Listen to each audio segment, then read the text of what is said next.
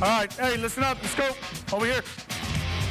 Everybody down. We've been working hard all week, man. Every week, our goal's been to improve. So let's work on this week, making sure we come out of here three and two.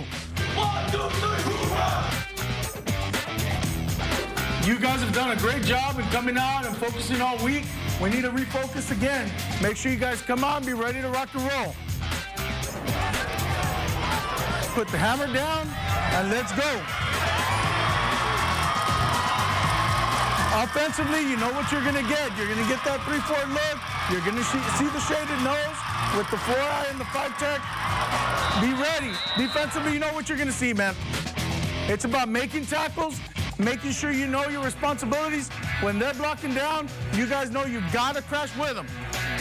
But again, at the end of the day, it's about finishing the tackle. That's what it's about. Let's start hard and let's finish fast. Any questions? No, Take care of business, man. Our job today is to be three and two at the end of the day. Plain and simple.